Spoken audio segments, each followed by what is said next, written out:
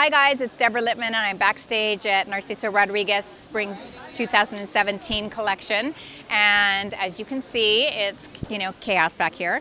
Um, the inspiration for this collection was uh, a piece of fabric that Narciso has um, sparsely in the collection, and he asked me to create a shade based on the fabric.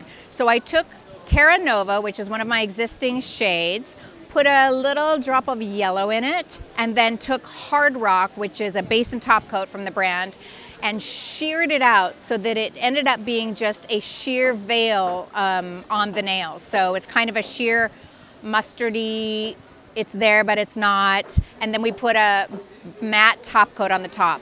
So the base was all about that base, which is a matte base, one sheer mustard, and finished it with flat top, which is my mattifying top coat.